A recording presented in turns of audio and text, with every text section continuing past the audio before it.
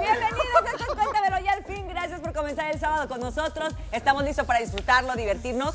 Junto a nuestro conductor invitado, Ricardo Margalef. que es el- Oye, pero no invitado. Sí, y hoy les voy a demostrar, les voy a vender una A ver. lavadora. ¿Cómo Pero, lava? pero ya está muy usada, ¿eh? Sí. Sí trae como su look de, de- de demostrador de tienda tiene departamental. lo suyo. Pero bueno, ¿saben O qué? de vender colchones. De vender- ¡Señora! ¡Abuelita! ¡Soy tu nieto! No, no, no, ahí no pensamos. Es un programa familiar.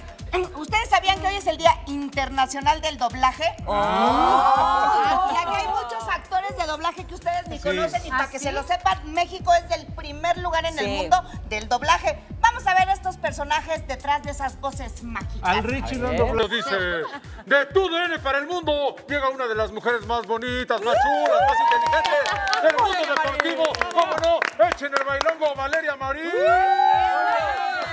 Bienvenida, mi Val. ¡Qué bella! Qué bien, qué bien. Bien, Sí. mi se avecina un verano espectacular por las pantallas de TUDN. Qué Ah, bueno, porque el deporte nos llena de vida. El deporte nunca descansa. Así es. Bueno, y hablando de deporte, ¿qué les parece si les vamos al melodrama deportivo? Vamos a platicar de Bruce Jenner. ¿Ustedes se acuerdan de él? Campeón Obvio. olímpico. Ah, claro.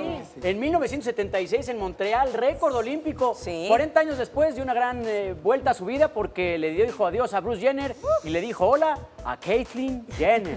Pues manos a la obra. Uno nunca sabe eh, lo que va a pasar con la... Pero tiene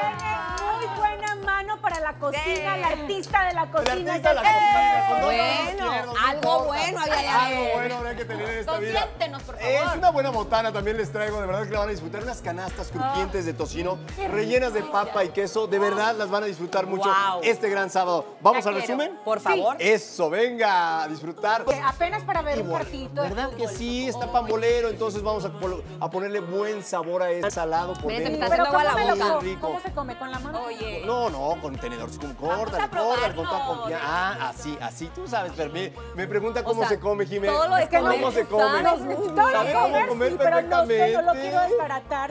No, se desbaratan las cosas, se disfrutan. Eh, a disfrutar. Omar Sandoval, mis redes sociales y ¿qué tal?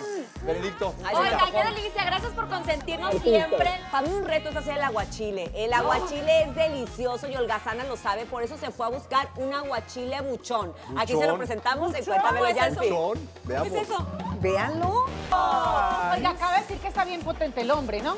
Poderoso. Pues sí. Poderoso, poderoso. Poderoso, pero también para cuidarlos y Oiga, pagarles. esta semana haremos un divertido repaso por las caídas de algunas modelos al momento de posar y mostrar su talento fashionista en las pasarelas. Fashionista. Iniciamos esta lista con la siguiente modelo que pisó Ah, Perdón, esta caída este, fue al estilo Jacqueline Andere. Jugaba Mario, Mario Bros, que ya ves que Ah, turururu. Dale. Desapareció. Oigan, ahora vamos con esta modelo que participó en un concurso. Se llevó al presentador. Ahora sí que se lo llevó entre las Como que su termito de café traen ahí. Eh, no es requisito para ser modelo, hay que saber pisar bien o les puede pasar como esta chica. Le bueno, era el glamour. como esta goleadora.